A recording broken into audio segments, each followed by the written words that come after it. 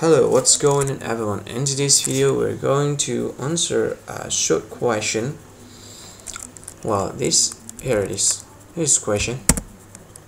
Oh no, that's not a question. Here, this is a question. How many inches in a meter? Well, to answer this question, I've provided you with the answer and here's the answer. One meter is equal to 39.3701 inch. Well in case of someone asks you um, how many meters are in an inch?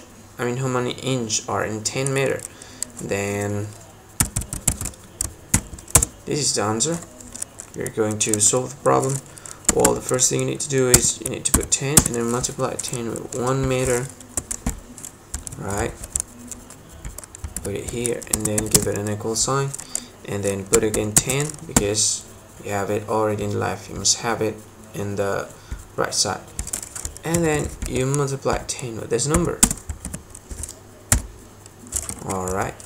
Now 10 multiplied with 10 1 is equal to 10 and then give it an equal sign 393.701 well that's the answer of the question.